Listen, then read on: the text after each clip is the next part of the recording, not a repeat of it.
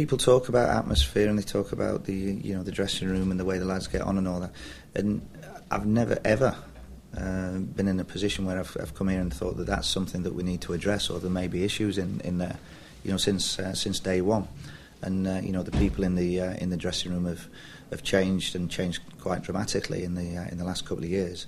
Uh, but what hasn't changed is the uh, is, is the atmosphere amongst them all. Our, our players, you know, I've said to you in the past that there, there may be times where we don't pass the ball well enough. There may be times when we don't control it well enough, finish whatever it may be.